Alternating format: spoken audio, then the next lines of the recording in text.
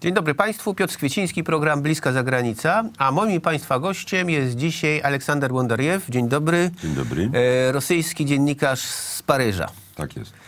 E, I chciałbym, żebyśmy dzisiaj porozmawiali właśnie o sprawach polsko-rosyjskich, które trwają od kilkuset lat. E, Nie widać, żeby się jakoś, żeby jakoś miały przestać trwać.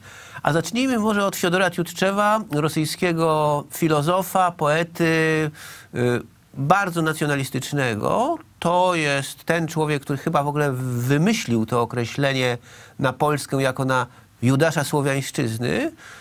Zarazem ten sam człowiek, ten sam Tiutczew napisał w jednym ze swoich wierszy, że słowiańszczyzna nigdy się nie zazna spokoju, nie osiągnie pozytywnej jakiejś przyszłości, jeśli nie pogodzą się dwa, dwie, dwa największe należące do niej plemiona, to znaczy Rosjan i Polaków. Przy czym to pogodzenie się zara, zarazem miało y, odbyć się w ramach wielkiej Europy, zorganizowanej, podbitej w jakimś sensie przez Rosję. Zacząłem od tego, żeby pokazać takie pewne zapętlenie, jak mi się wydaje, rosyjskiego myślenia o Polsce, jako o czymś jednocześnie wrogim, jednocześnie godnym pogardy i jednocześnie jakoś fascynującym. Czy ja to dobrze odbieram? E, to znaczy, ja bym zaczął od tego, że Tiutchew e, chyba 5% swojego życia spędził w Rosji, bo był ambasadorem w wielu księstwach e, germańskich wtedy. Niemiec jeszcze nie było. I niespecjalnie lubił tę Rosję. To znaczy, on był teoretykiem. W związku z tym... Ja Teoretykiem nacjonalizmu. No, tak? Teoretykiem nacjonalizmu, jak to prze, jak, jak Lenin był teoretykiem. teoretykiem internacjonalizmu i tak dalej. E, W tym sensie e, powoływanie się na Tiutchewa nie jest charakterystyczne moim zdaniem, e, ponieważ oczywiście mniej więcej to samo pisał Puszkin w tym okresie, że powstanie warszawskie, albo te rzeki słowiańskie będą w obcy, w, we wspólnym morzu, albo zginiemy wszyscy i tak dalej. To była taka koncepcja, że Polska jest rzeczywiście taką mm, częścią bardzo ważną imperium. Tak samo to jest bardzo podobna reakcja do tego, że teraz Rosja nie chce oddać Ukrainy, bo ona uważa, że bez tego ona przestaje istnieć. I tu pan ma rację oczywiście z tym, że mm, to dosyć szybko się skończyło. Dosyć szybko się skończyło w XIX wieku, e, po dwóch powstaniach polskich i tak dalej. Jeszcze u Dostojewskiego można przeczytać, że te Polaciszki i tak dalej, i tak dalej. Natomiast to się zmieniło i e, muszę powiedzieć, że Polacy to znaczy, oczywiście, że wojny napoleońskie zagrały swoją rolę, e, ksi- książę Konstanty i tak dalej, i tak dalej. I zaczęło się zbliżenie Polaków i Rosjan polityczne. Natomiast ja bym, jeżeli pan nie ma nic przeciwko temu, chciałbym e, właśnie e, położyć nacisk na tej drugiej stronie, to znaczy nie politycznej, tylko o stosunku Rosjan do Polaków, a nie stosunku e, państwa rosyjskiego, które się zmieniało do państwa polskiego. No właśnie, jak stosunek Rosjan do Polaków wyglądał, powiedzmy sobie, no w czasach pańskiej młodości? E, W czasach mojej młodości oczywiście e, wiedzieliśmy o Katyniu. Wiedzieliśmy o Katyniu tak jako, jako przestępstwie, ale to...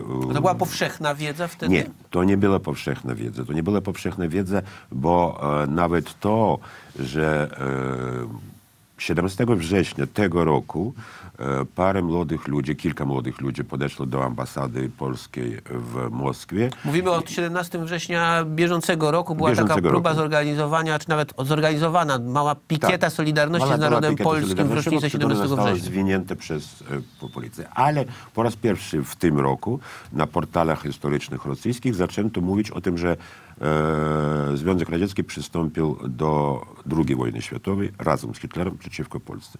Natomiast w latach 60., 70. rzeczywiście to było chyba e, najlepsze czasy, po pierwsze młodości, jak pan słusznie powiedział.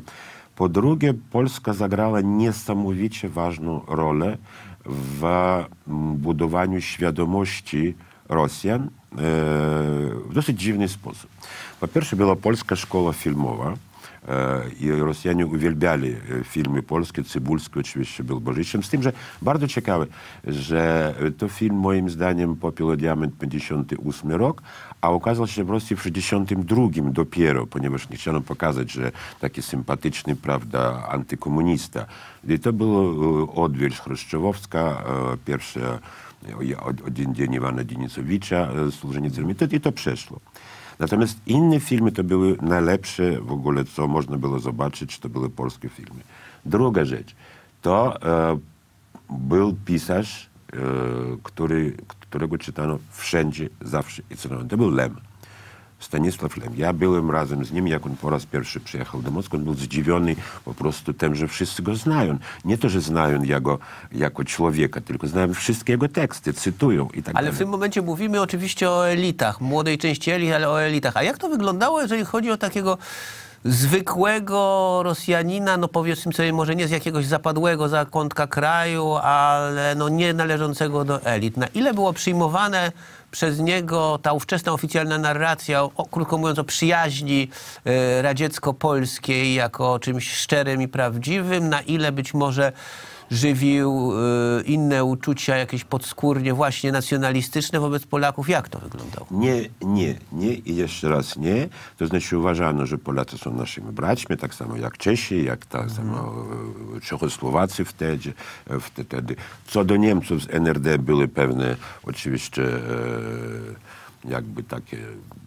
wątpliwości. Natomiast Polacy absolutnie byli nasi, tańczyli, śpiewali, jeździli na festiwale i tak dalej, i tak. I to Czyli było... te antypolskie demony były wtedy skutecznie, rzeczywiście jakoś skutecznie schowane albo nawet się jakoś rozpłynęły, tak? Widzi pan, to znaczy to jest e, mm, tak, że ci ludzie prości poznali tych Polaków e, podczas wojny, podczas mhm. syłki. Pani Olewatowa na przykład mówiła mi, że ona nie ma nic wspólnego z tymi ludźmi, którzy nienawidzą Rosjan, dlatego że mieszkali w ziemiankach obok nich. Koza, to Kazachowie, Rosjanie i że oni byli tacy sami i pomagali sobie. W związku z tym wśród prostych ludzi, którzy zetknęli się z Polakami, nie było tych uciecz nawet na dalekie prowincje i specjalnie w tych miejscach, gdzie była zsyłka. E, co dotyczy elit, to trudno to nazwać elitami, bo e, to był raczej e, dosyć duży margines społeczny ludzi wykształconych, studentów itd. Tak itd. Tak I tu była bardzo ciekawa rzecz, że Polska mm, została nie tyle pomostem między Europą a Rosją, Pola, Rosjanie nie lubią, jak mówią, że Polska jest pomostem między Rosją a Europą, bo Rosjanie już są Europą. Natomiast to był wpływ kulturalny z bardzo prostego powodu. Był internacjonalizm, władza radziecka udawała albo nie udawała, że wszyscy kraje demoludów, to znaczy nasze kraje, i była gigantyczna ilość literatury i czasopism polskich. Przekrój czytano wszędzie, we wszystkich miastach. E, znaczy, czy czytano. Język podobny, e, ciekawe historie, kobiety i życie i tak dalej. To było bardzo dużo tych wydań, które po prostu sprzedawali się w zwykłych kioskach. Oprócz tego, w, we wszystkich stolicach i nawet większych miastach był taki, e, taka księgarnia, która nazywała się Inostranny czy Zarubieżna Kniga Drużba, e, przyjaźń oczywiście, gdzie sprzedawano e, literaturę krajów demoludów. I człowiek, który chciał coś, czego się dowiedzieć o Zachodzie, a dowiedzieć się nie można było z niczego oprócz obcych głosów z radia, a on chciał coś przeczytać z literatury, to miał do wyboru e, Rumuni nic nie tłumaczyli, Enerdowcy nic nie tłumaczyli, Czesi nic nie tłumaczyli, węgierski był za trudny, e, Bułgarzy nic nie tłumaczyli. Zostawała Polska. I właśnie pan mówił o mojej młodości, to samo mówił Brodzki, który jest parę lat starszy ode mnie, że nauczyliśmy się czytać po polsku po to, żeby czytać literaturę światową. Mhm. Ja, ja na przykład osobiście całego Ionesco czy całego E, Faulknera przeczytałem najpierw po polsku. I y, to rzeczywiście było całe pokolenie, nie elitarne, to tylko y, to byli inżynierowie, to byli wykształceni jacyś lekarze i tak dalej. No, tak. Słowem, inteligencja. słowem mówiąc inteligencja. inteligencja. A jak to wygląda teraz? Bo... Mm, Wie pan, w Polsce, jak pan doskonale wie, jest- Warszawa i jest Kraków. Kraków to jest dawna stolica, są tutaj e, rozmaite relacje między tymi dwoma miastami i ich mieszkańcami. I e, jak to ktoś e, określił, tutaj jest takie pewnego, jest tutaj tego pewnego rodzaju niekompatybilność tych uczuć. Mianowicie w Krakowie Mieszkańcy, mieszkańcy Krakowa bardzo dużo mówią o Warszawie, o warszawiakach, bardzo często mówią czy, czy myślą rzeczy niemiłe. Jest to temat jakiś, który funkcjonuje między nimi. I oni raczej są skłonni myśleć, że pewnie warszawiacy tak samo dużo czasu i energii poświęcają im. Tymczasem warszawiacy zdają sobie sprawę z tego, że jest Kraków i że są krakowiacy i to w zasadzie tyle. Ktoś w Polsce porównał tę sytuację do sytuacji między y, Polakami a Rosjanami, tylko tutaj warszawiakami byliby Rosjanie, a Polacy krakowiakami. Y, Polacy Temat Rosji jest bardzo istotny y, dla Polaków ciągle na rozmaitych płaszczyznach. Rosjanie bardzo często demonstrują wobec Polski w tej chwili obojętność. Czy właśnie, tu powiedziałem demonstrują. Demonstrują, czy jest to obojętność prawdziwa? Ja proszę pana, to znów zależy od tego wśród kogo. Wśród prostych ludzi teraz jest obojętność. Rzeczywiście nie ma żadnych uczuć wrogich, nie ma żadnych uczuć przyjaźnych, bo e, nie ma informacji, bo telewizor nie podaje wszystkiego, co się dzieje w Polsce. To znaczy e, bardzo dużo rzeczy zmieniło się po Smoleńsku, e, bo po Smoleńsku od razu pierwszym odruchem Rosjan była współczucie i tak dalej, a potem cała propaganda. E, doprowadziło do tego, że co ci Polacy naprawdę to jest rusofobia i tak dalej, i tak dalej. I to jest to, co powtarzają ludzie, e, którzy oglądają powiedzmy telewizor, że dlaczegoś Polacy są rusofoby i chcą do Europy, do Ameryki, ale wszyscy są wrogami, ponieważ polityka e, rosyjska jest taka, że jesteśmy otoczeni. A na tym tle, pan powiedział, że właśnie wszyscy są wrogami, ale czy na tym tle Polacy się wyróżniają jako jakiś taki wróg szczególny, czy, czy, czy nie? Czy toną w tej masie wrogów? E, Myślę, że Polacy się wyróżniają jako e, wróg szczególny, który e, mógłby być najbliższym przyjacielem, jak pan słusznie zacytował Fiodora Tłutczewa, że to jest trochę Judasz narodów, ponieważ, no kurczę, no jak to jest, no wszyscy jesteśmy prawosławni, tak? My, Ukraińcy, tam Serbowie, Bułgarzy, a Polacy są kat- kat- katolikami. Jezuici, jezuici słowo istnieje po rosyjsku, które oznacza podstępnego wroga.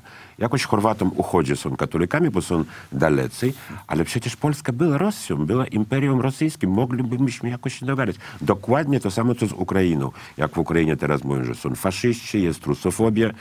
Mniej więcej tak samo mówi się, e, ale nie wszędzie, oczywiście na poziomie pana Dugino i jego, że Polacy są rusofobami. Ale myślę, że ludzie tak normalnie tego nie kupują. No właśnie, bo Judasz to przecież nie był byle kto. Judasz to był jednak ktoś, który Jednym zanim zdradził, był tak. bliski bardzo Chrystusowi. W związku z tym, jeżeli nazywa się Polskę Judaszem, no to jest w tym pewnego rodzaju element silnej emocji, podobno, że, które kiedyś, kiedyś, kiedyś były, czy mogłyby być pozytywne. Tak? Myślę, że e, ten termin Judasz Narodów po Tютczewie e, użył e, tylko Peletin, e, też w XIX wieku, historyk rosyjski, a potem już tego nie było w wątku w ogóle. Ani za Stalina, ani po Stalinie, ani w latach 60., 70. Nie było tego. E, to znaczy, to było takie uczucie, że szkoda, że nic nie zrobiliśmy tym Polakom, bo ludzie nie znają historii, nic nie zrobiliśmy tym Polakom, nigdy z nimi nie walczyliśmy, nikt nie pamięta roku 18, nic im nie zabraliśmy i dlaczego oni tak nas czasem nie lubią.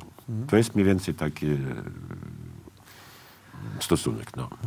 Ale Polska jest w tej chwili uważana przez y, tych takich zwykłych Rosjan za, że tak powiem, samodzielnego wroga Rosji, czy też po prostu za jakiegoś pieska łańcuchowego Amerykanów.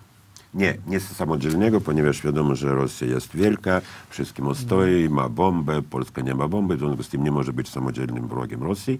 Natomiast pieska Amerykanów nie, e, ponieważ e, to jest, e, to znaczy lu- ludzie rozumieją, że Polska zwraca się do Amerykanów, bo boi się Rosji z jej wiadomych i z jej znanych powodów, ale niesłusznie. Które, z powodów, które są całkowicie nieracjonalne. Tak, które są, całkowicie nieracjonalne. Natomiast bardzo ciekawe, e, mm, nie tak dawno, niedawno już czytałem takie mm, analizy pamiętam historyczki pani Czubarowa, e, która porównywała stereotypy wyobrażeń Polaków o Rosjanach i, Rosjan, i Rosjan o Polakach.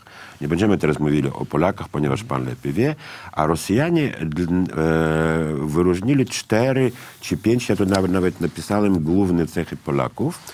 Pierwsze to jest patriotyzm. To znaczy, i to przeczy temu, że e, są wrogami. Nie są patriotami. Rosjanie mówią, że są patrioci. Po drugie, e, jest religijność. Po trzecie, jest e, kultura ogólna, i to znaczy odbierana, że kultura do Rosji przychodziła e, przez Polskę z zachodu i bardzo dużo zapożyczeń słownych i tak dalej. No i niestety na piątym miejscu jest taka polska cecha już raczej negatywna jak pycha. No, pyszny Polak, e, nawet Puszkin pisał gordaja Polaczka, uniżacja i tak dalej. Ale pomijając już tę cechę jedyną negatywną, to zwróćmy uwagę, iż te pozytywne cechy, które według, y, według, według tej pani Czubarowej charakteryzują Polaków, to tak jakby zostały wyniesione gdzieś z głębokiego XIX wieku, bo w tym zwierciadle trudno jest się nam w tej chwili chyba przejrzeć. To znaczy ta religijność, czy, to, czy ta religijność rzeczywiście w obecnej Polsce tak istnieje, ten patriotyzm, patriotyzm jak on istnieje. wygląda, to są chyba czy to są aktualne, rzeczywiście w opinii Rosjan aktualne cechy Polaków? Tak. W opinii Rosjan to są aktualne cechy Polaków. I właśnie ten patriotyzm jest uważany za prawdziwy, bo już o patriotyzmie rosyjskim, bo dużo różnych narodów tam mieszka, trudno mówić. Natomiast Polacy są uważani za patriotów w odróżnieniu na przykład od Czechów od Czechów, e, którzy inaczej się zachowali podczas wojny, ale wszyscy wiedzą, że Polacy e, to był jedyny naród, który nie miał Quislinga, e, który walczył przeciwko Niemcom, że było państwo podziemne. To jakby jest wiedza powszechna. To znaczy ten patriotyzm jest, religijność jest, papież, Polak, mm. wszyscy pamiętają, kultura jest, po kraj kulturalny i tak dalej. No i, i co? To znaczy mniej więcej to samo pozostaje. E, z tym, że mm, z tym, że oczywiście i ostatnia już rzecz, którą mogę powiedzieć na ten temat, że e, po dwóch latach, już trzech, tak, e, kiedy do władzy doszedł Kaczyński, jak oni mówią, a nie PiS, i wybory nie, nieważne, że ta elita, ta elita inteligencji, która przejmuje wszystkie, już nikt nie czyta po polsku, proszę pana, mm. bo nie ma potrzeby, bo jest internet, jest wszystko otwarte i czerpają te swoje, e, swoją wiedzę od niestety tych samych ludzi, co, co piszą do prasy niemieckiej, to znaczy Polacy, do pracy amerykańskiej, też Polacy i tak dalej. To znaczy, znaczy mniej więcej od e, opozycji. Znaczy innymi słowy, jeżeli jakiś Rosjanin y, jest, wie cokolwiek o Polsce, to, go, to wie to od Adama Michnika. Tak. A, y, jak? Tak, bo, e, bo przecież była książka duża, duża. Adam Michnik zrobił wywiady z Nawalnym. To było wydawane i tak dalej. Zresztą Michnika wydawano w różny sposób, bo ja e, znam parę książek, które były wydane Michnika e, z e, pomocą finansową Ministerstwa Kultury rosyjskiej, Federacji Rosyjskiej, co jest napisane zresztą tam w rosyjskim tłumaczeniu. Czyli jest... jakoś Michnik nie był uważany za, w tym momencie za jakiegoś strasznego tak, rusofoba. Tak. A y, jak y, na Rosjan oddziaływują te pojawiające się ciągle, y, a ostatnio zresztą dosyć intensywnie, aluzje propagandy kremlowskiej, iż możliwe byłby podział Ukrainy między Rosją a Polską. To są oczywiście instrumentalne i nieszczere yy, aluzje, natomiast mnie interesuje to, jak to przyjmują Rosjanie. Czy uważają, że to jest jakaś perspektywa realna? Nie. Absol, absolutnie nie. Myślę, że w Polsce to jest uważane za, jakieś zagrożenie i tak dalej. Natomiast Rosjanie o, o, o, tym dowiedzieli się po raz pierwszy e, od Żerenowskiego. E, nie trzeba tłumaczyć być może Polakom, kto to jest. To jest taki klaun na wysokiej posadzie. E, były kandydat na prezydenta, stały kandydat na prezydenta, który jest znany po prostu e, z niewyparzonej gęby. I on to kiedyś powiedział i pewnie ludzie za tym powtarzają, natomiast Żerenowskiego nikt nie bierze na poważnie, nikt nie chce tego dzielić i, i nikt nawet nie wyobraża sobie podziału, ponieważ już po Krymie Rosjanie uważają, teraz jest wszystko w porządku. Mhm. Ukraina, faszyści jakoś tam między sobą, Polska jest Polską, nie, Niemcy Niemcami. Nie. o żadne podziały nie chodzi i nikt poważnie na ten temat nie myśli. E, Ja wiem, że nikt z polityków poważnie na ten temat nie myśli, ale czy e, Nie, nie, Rosjanie- ludzie nie myślą. Ludzie tego nie myślą. Nikt z polityków to rozumiem, że nie myślą. Ludzie to, to, to, to co, ty, e, w jaki sposób, to znaczy dzielić, znów wprowadzić wojska. Już ludzie nie chcą. Mi raczej chodzi o to, czy Rosjanie uważają, że gdyby to było możliwe, że Polacy, tacy jacy są, obecni Polacy, rzeczywiście mogliby na to pójść. To jest bardziej skom- skom- skomplikowane pytanie, ponieważ to powinno, e, powinien modelować e, świadomość Rosjan, którzy modelują świadomość Polaków. I e, to oczywiście nie mogę taką podwójną modelem. Moim zdaniem nie. Moim zdaniem nie, nigdy nie spotkałem, nie słyszałem, nie czytałem, nawet w internecie i w prasie takiej ogólnej. Nikt z Rosjan tak naprawdę nie uważa. E, Myślą, że Polacy rzeczywiście mają coś tam do Lwowa, bo polskie miasto i tak dalej, tak dalej. Natomiast żeby prawdziwy podział polityczny, nie. Ponieważ oni, Rosjanie to znaczy, już się nauczyli, że te podziały e, sztuczne, ukraińskie, są po prostu e, w krew, gigantyczną krew. I tak po prostu, żeby się usiąść i podzielić, nie. Bo będą Ukraińcy walczyli, będą Polacy walczyli, będą Rus, e, Ruscy walczyli. Po cholerę taką trzeba. Nie. Nie. Mówiliśmy tutaj dużo o w, w tej kwestii, iż Rosjanie uważają Polaków za, Polaków za zdrajcę. Ja podzielę się tutaj taką anegdotą. Pewien polski dziennikarz opisał, jak to w pewnej kolejce w Moskwie pewien y, pijany Rosjanin y, zaczął go przepraszać za to, że my Rosjanie zdradziliśmy was Polaków. Jak to, nas, jak to nas zdradziliście? No tak, oddaliśmy was Amerykanom. Czy wy nam to kiedyś jesteście w stanie wybaczyć? Mówił ten Rosjanin ze łzami w oczach. I myślę, że to byłaby, y, była, byłby dobry akcent na koniec naszej rozmowy. Dziękuję serdecznie. No ja dziękuję bardzo. Moim Państwa gościem był dzisiaj pan y, Aleksander Bondariew, rosyjski dziennikarz z Paryża. To był program Bliska Zagranica. Piotr Kwieciński. Dziękuję bardzo. Do widzenia.